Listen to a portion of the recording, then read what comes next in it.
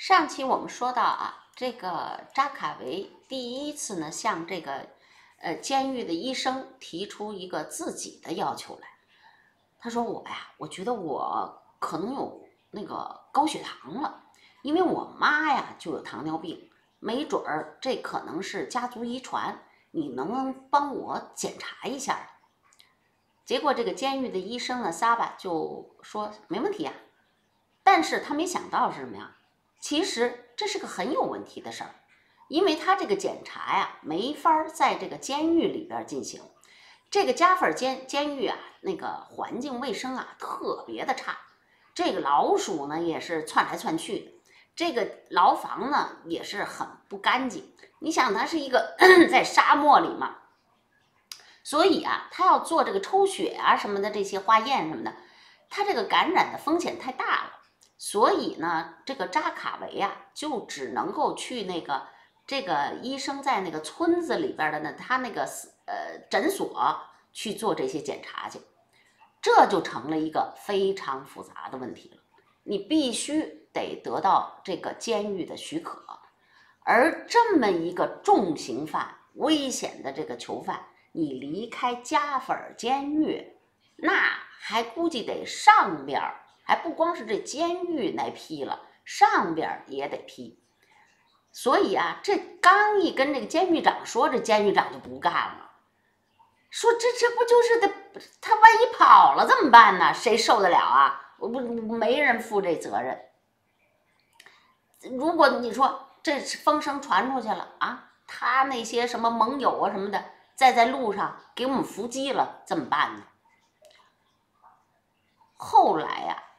还最终那个医生，呃，真说服了这个监狱长，而且呢，通过了上边的这个同意了，嗯，安排说，你说你你看这么一个犯人，他又是脚镣又是手铐的，你们还在弄不了，那你还弄什么监狱呀？于是呢，就也觉着呀，这个理由有点不人道。于是就安排说行，那就安排武装护送吧。就那天啊，这个萨巴呢就在这个诊所里等着，就看着啊，呜呜呜过来十来辆一个大车队，好家伙，那时候天呐已经快黑了。这车队啊，大概得有几十个人，手持着那个冲锋枪，那警警卫。这萨巴没见过这么大的一个军事护卫队。刚开始啊，他还没想到会是这个扎卡维呢。他以为啊，是哪个皇室的人临时决定要跑到这村子来拜访呢。结果没想到，从这个车队里边一个面包车里边就咚咚咚走出来一个中年汉子，这就是那个扎卡维。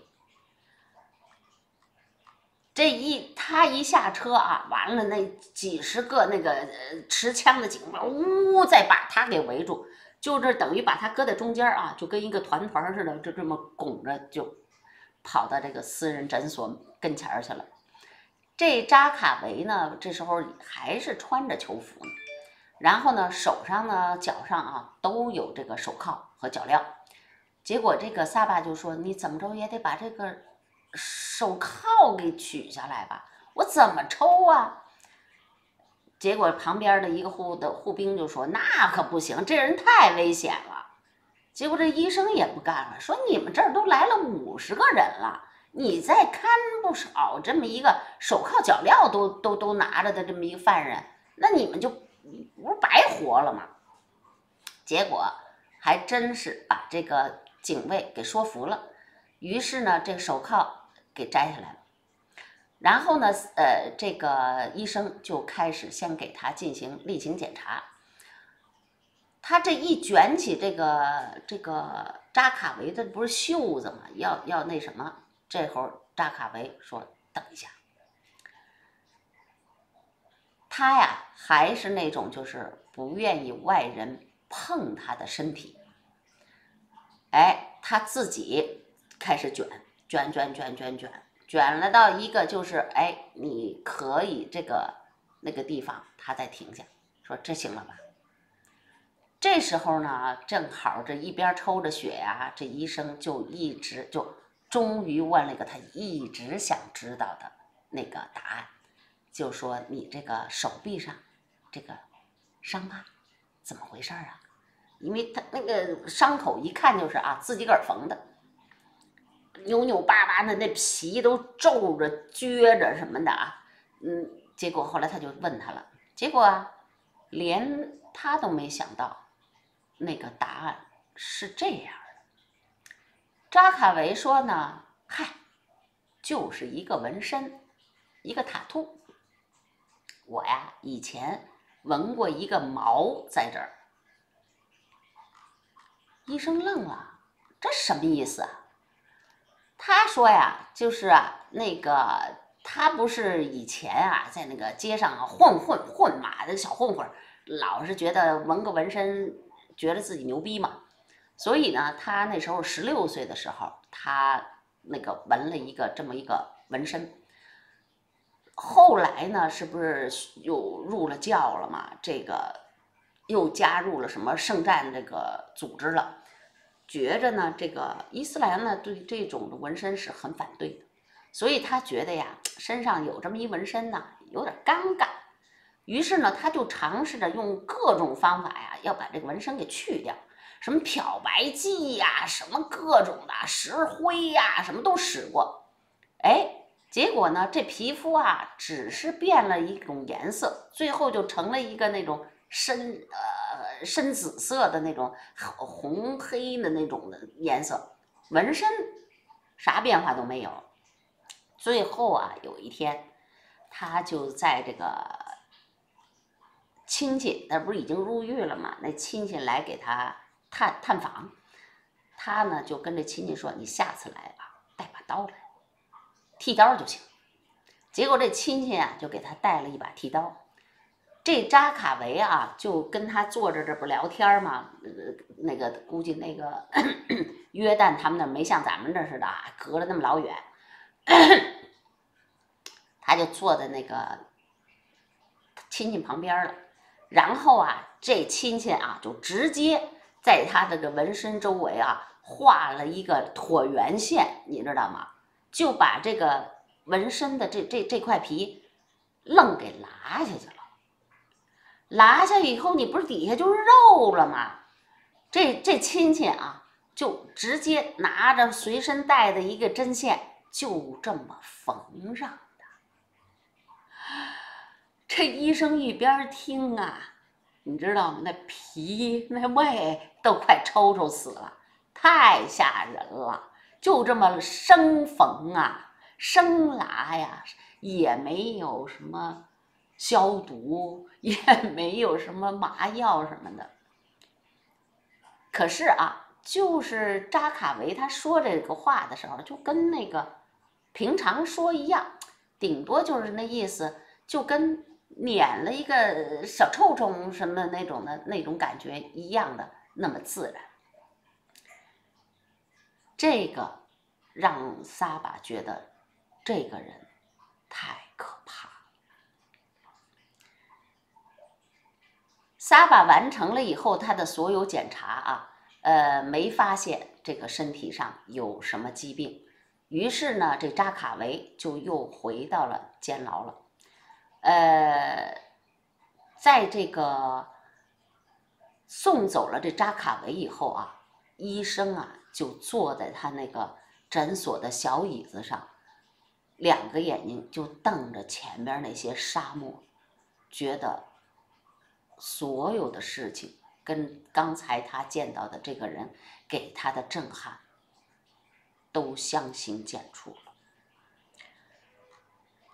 七十年前啊，有一支伊斯兰的军队穿越了同样一条道路，骑着马和骆驼向北走，打算呢以真主的名义要消灭一个叫约旦的国家。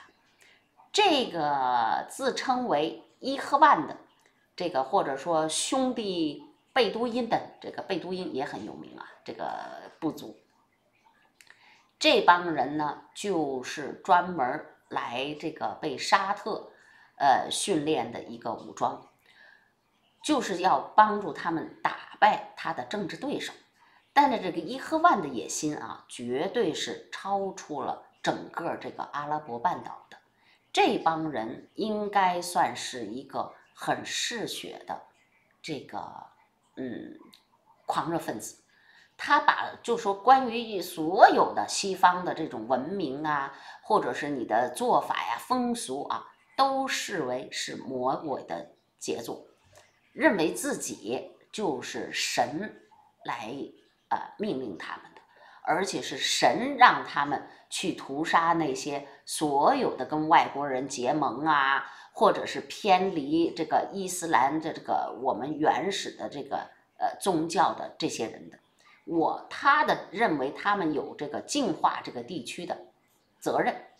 再到了二十世纪二十年代的时候吧，他们就以这个迅雷不及掩耳之势。从这个内地一直打打打打到了现在的这个约旦和伊拉克，企图呢就推翻当时的政府，建立一个横跨整个中东的一个统一的伊斯兰国，或者说叫哈里发。这一路上啊，见着村庄就杀，见着村庄就砍，总之吧，就是呃一个。活着的男性都不留，他们想干嘛呢？就是把这个过去西方现代性对这儿的污染的所有痕迹都从这儿抹去。尽管说啊，沙特那时候的君王呢，特别的想控制这帮人，你支持完了以后，对人突然发现啊，这帮人失控了，你知道吗？嗯。这时候有一支大约一千五百人的伊赫万，就推进推进，一直推到了约旦首都安曼了，差不多离安曼也就有十英里的地方了。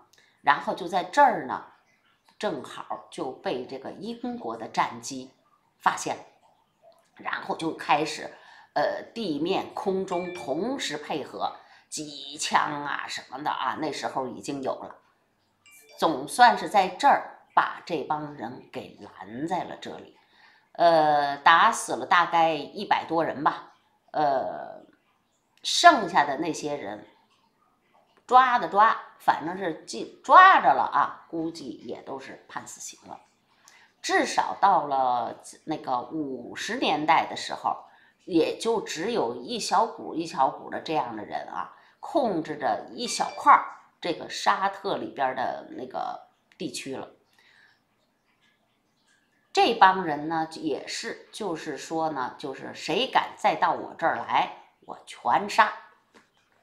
后来呀，呃，就突然一下，这帮人就不见踪迹了，消失了。呃，但是呢，就是像他这种的啊，就是比较极端的，就是嗯。原教旨主义的那种东西啊，应该说还是没有消失。嗯，到了二十世纪末的时候，应该说这股力量和这股趋势又回来了。嗯，从这个海湾地区吧，就这一块儿啊，尤其是这个控制石油啊，这附近这些个。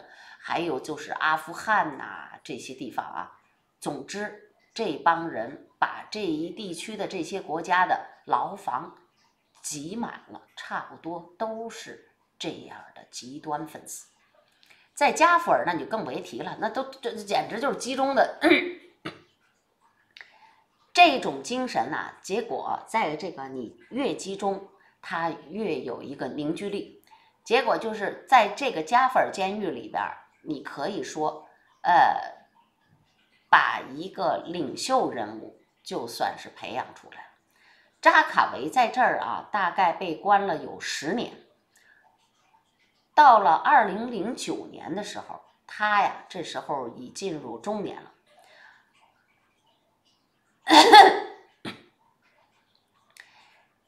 应该说呀，那个时候怎么说呢？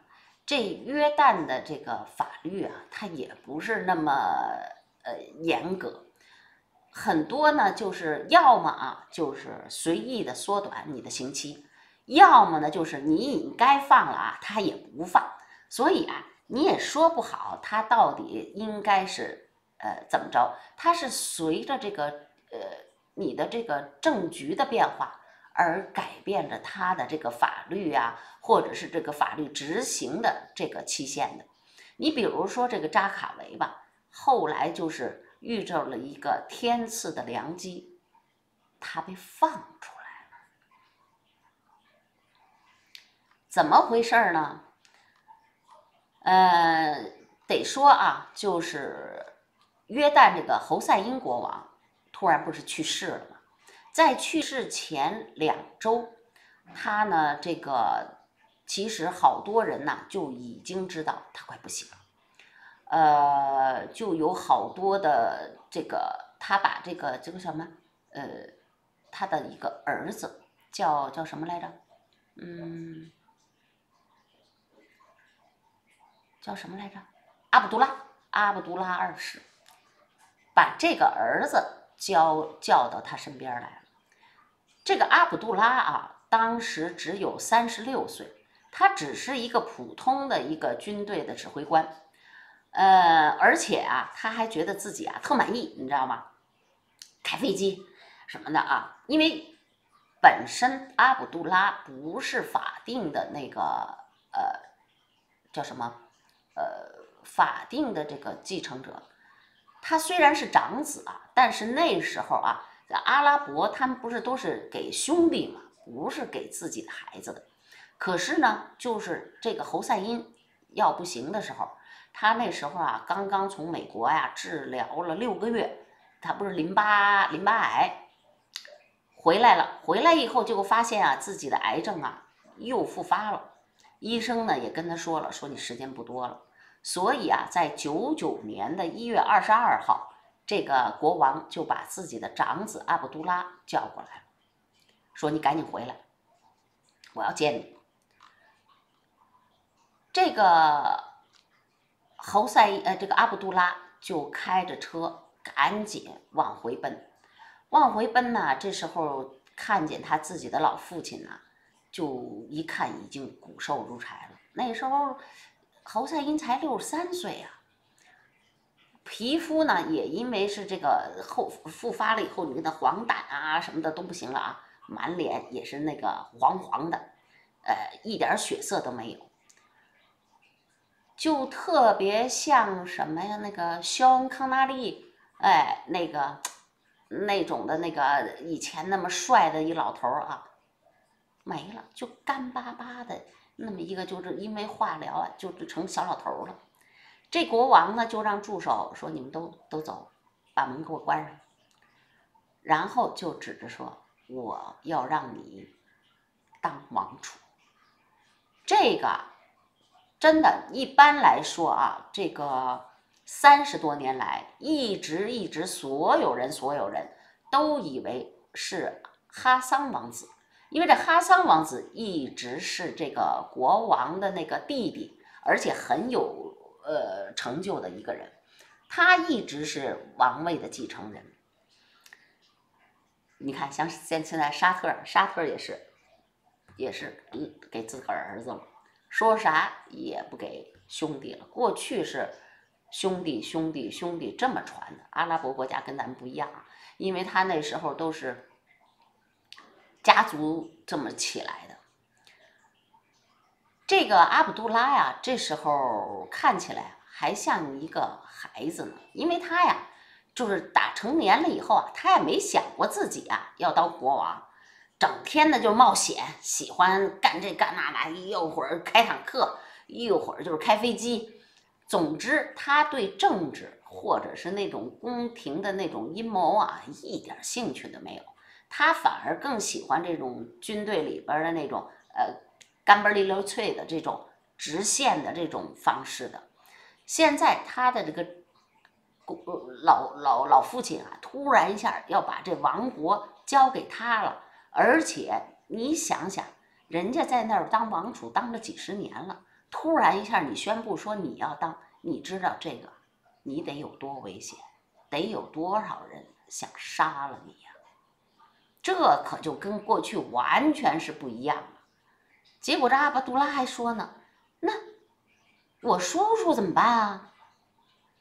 这国王说了，我已经下定决心了，我观察过他很久了，他不行，他这个人呐太贪了，而且呀，就是呃，对这个国家也不忠，就总是啊处理的全是那种小细节的事儿，他没有那种当君王的体本质，而且啊。就说了，我在这众多的这个兄弟姐妹啊，还有包括他们的孩子里啊，我都观察了，这十一个孩子里边，只有你是对这个国王这个位置最没有野心的一个了。结果你看看，就有点像啊，嗯，那时候说的那个雍正，表现的啊，跟跟跟不要。越不要的越给你，结果阿卜德拉就这么着就成了一个王储了。好，今天我们先讲到这儿吧，下期接着讲，下期见。